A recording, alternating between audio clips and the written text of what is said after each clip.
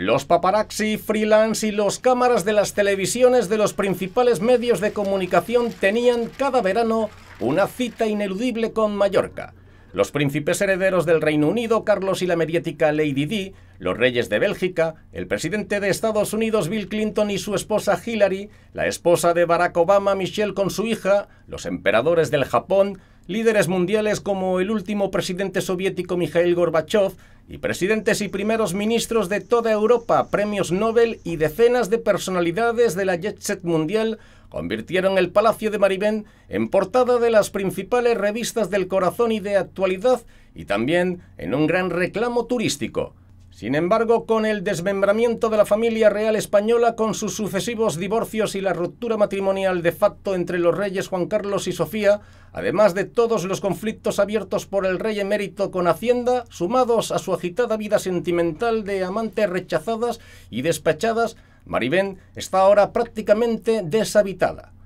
Solamente la reina, con la única compañía de su fiel hermana Irene y algunos amigos íntimos, frecuenta durante el verano y la Semana Santa el gran palacio que mandó construir el mecenas griego Juan de Saridakis sobre los acantilados de Cala Mayor, un palacio que debía ser el gran museo de la cultura, la historia y las tradiciones de Mallorca y que, por imposición de la Diputación Provincial Predemocrática, requerimiento del ordeno y mando del entorno del general Franco, se convirtió en residencia de verano de primero los príncipes de España y ahora del jefe del Estado.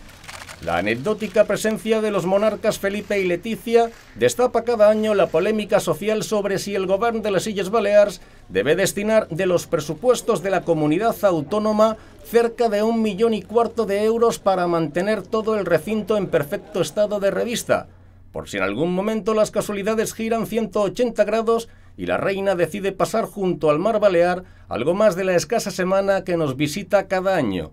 De hecho, a la euforia inicial de la apertura de parte de los jardines de Maribén, a las visitas públicas en los momentos en que ningún miembro de la Casa Real Española ocupa el palacio, se ha pasado a una total indiferencia por estas instalaciones que solo frecuentan algún turista despistado. Los paparaxis prácticamente han desaparecido. Los reyes vienen poco más de siete días. Solo Sofía prefiere la soledad de Maribén a la soledad de la zarzuela. El rey emérito ha cambiado el Real Club Náutico de Palma por el gallego de Chanchencho y mientras los Baleares, más allá de sus posibles filias o fobias por la monarquía, seguimos pagando con nuestros impuestos la limpieza, el mantenimiento y la jardinería del caserón de Cala Mayor.